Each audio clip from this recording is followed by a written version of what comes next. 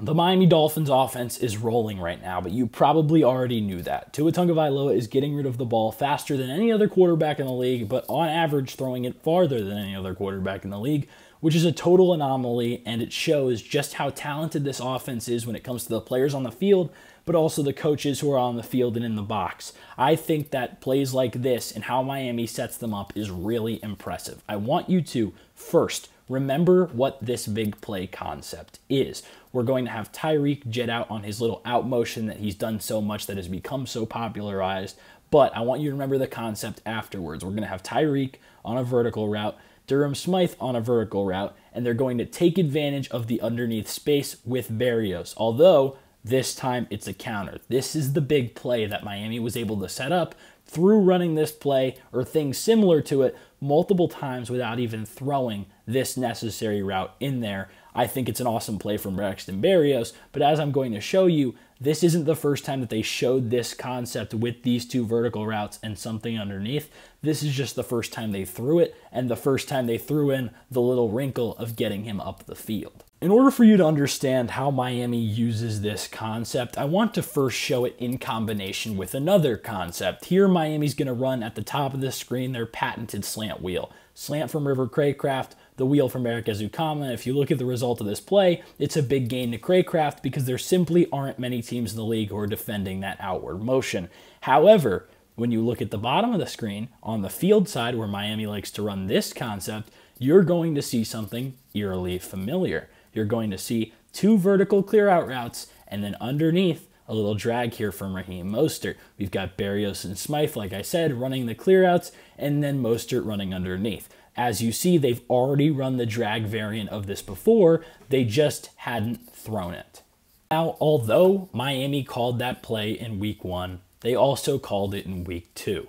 And when Frank Smith was asked about a deep touchdown to Tyreek Hill that had a Durham Smythe orbit motion, which you think might have nothing to do with this conversation, he actually said that maybe you'd seen one play, but you hadn't seen the complementary plays, and this is a prime example of that. This is actually going to be a very similar concept. It's going to be the slant wheel at the top of the screen, and it's going to be the same concept that we've been talking about, these two vertical routes with the underneath route. And look at Miami right here. They're going to generate a decent amount of separation if Tua wanted to throw this ball to Raheem Mostert.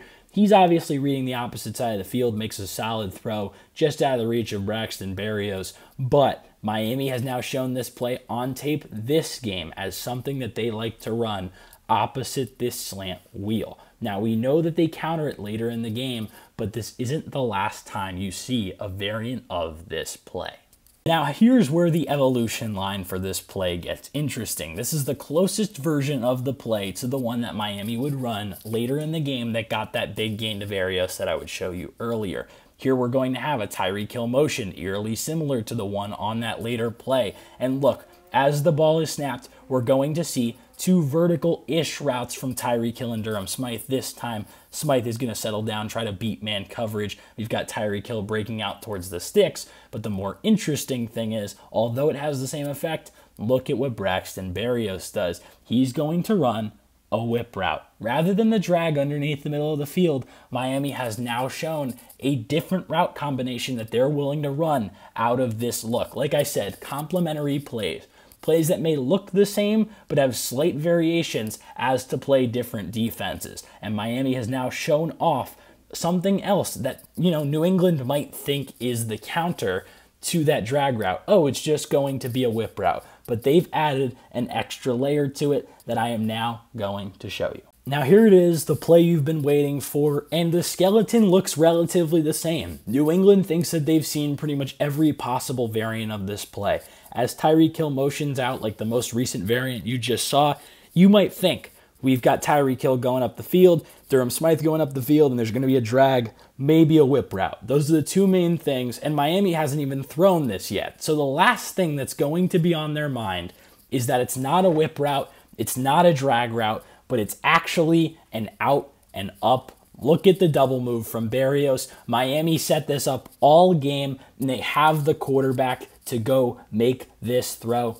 Even under pressure, even putting his head down for a split second, Tua stutters, steps up the field, and puts this right on Berrios. This is the way that you build up to a big play. Look at Miami. They've thrown the drag route at him, they've thrown the whip route at him, but now they have even a third layer. There are so many different plays in this offense that look so similar. And Frank Smith was trying to tell us that in his press conference. And now we're slowly starting to peel back the layers of how this Dolphins offense works. They have counters to just about everything, and this is a prime example of it. This whip and up by Berrios.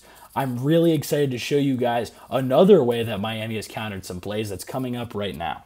Now, the way that Miami set up this big play was a little bit different because it wasn't in the way that they had different counters in their playbook and how they had certain different variants and complementary plays. This was just taking what the defense gives them and puts in front of them in order to get to their bread and butter later. They faced a lot of three high safety looks, which the NFL doesn't show often, but Bill Belichick was trying to do everything in his power to take away the middle of the field and give up the flats because Miami doesn't throw the flats often. But they're willing to do it if it means that you have to adjust their defense and now give Miami their bread and butter. So look at this first play. We're going to see Salvon Ahmed on a jet motion, and this immediately indicates, man, because this safety is running over trying to make this play. And Tua knows this. He knows if you're going to give me the flats, then I'm going to get for free five yards. Bill Belichick was praying that Tua would get antsy, try to force something over the middle of the field, and that's how the Patriots get a lot of quarterbacks by forcing them to try to make plays. But Tua was really patient. Mike McDaniel was giving him awesome concepts like this, and they're able to just get a little chunk, a little five, six yards, and they're able to do this until they can force New England to do what they want, as I'm going to show you on this next play. Now, this play, if I can make my little boxing analogy, is going to be Miami slowly rocking New England to sleep with their little jabs so they can make the right hook later and really swing for a bigger play.